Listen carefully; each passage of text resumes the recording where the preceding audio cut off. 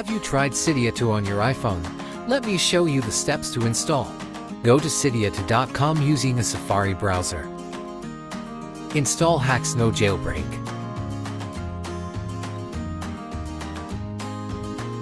Then open the HackSnow app and tap on Start Now button.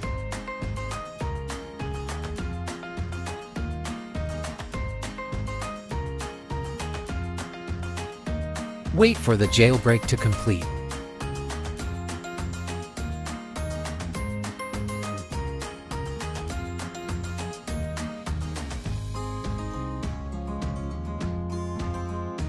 Choose the Cydia 2 and install it. Now you can add sources with Cydia 2.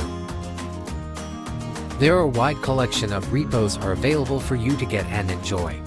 Jailbreak tweaks, themes, game emulators are some of them. Stay tuned awesome things are coming around you.